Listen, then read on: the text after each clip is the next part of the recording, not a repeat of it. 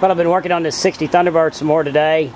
I've got it running quite a bit smoother. And uh, earlier today, although the gear selector says park, it must mean reverse. Because I started this car up and I started revving it high and it jumped off of my jack stands. It went in reverse. It's a good thing it didn't crash into the 63 Impala. All that trunk metal work would have been down the drain. But anyway, it moves.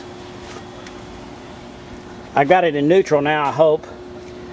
I uh, took the top off that carburetor and it was real clean. Once again, it's another one of these unmolested cars that still has that rebuilder tag or the uh, tag that tells you what rebuild kit to get still on it. I like these original cars. All the original clips and everything are right there. Kind of thinking this thing must be a big horsepower car. Just look at the size of that carburetor. It's a double pumper. It has a accelerator pump in the front that's kind of small and then in the back it's got this really huge large one on it. These things I believe could be 350 horsepower. It's either 300 horse or 350 horse 352 I'm to start it up and hopefully it doesn't move on me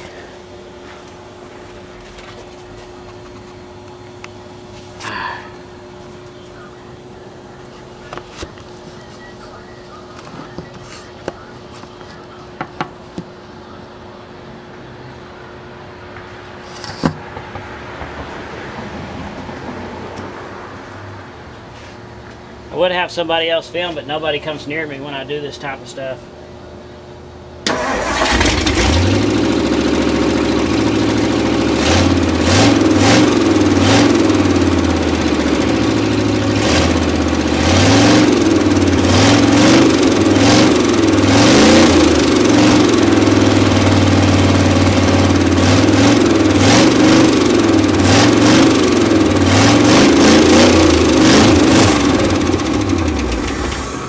That's it.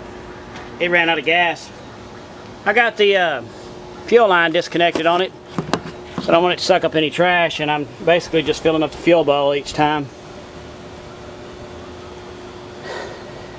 But the transmission obviously works at least in reverse. And that motor seems like it's going to be a good engine. But backyard's not covered in smoke.